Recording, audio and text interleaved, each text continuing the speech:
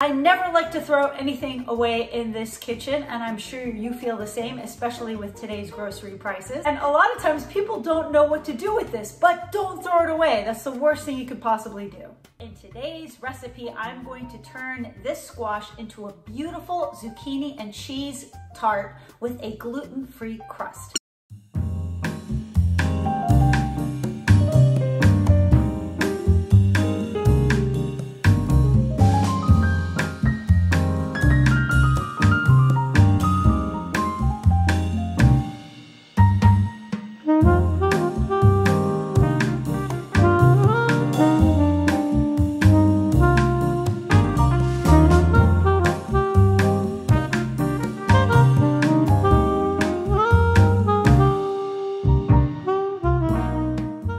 Dish is basically low carb because it's made with zucchini, which is a pretty low starch vegetable.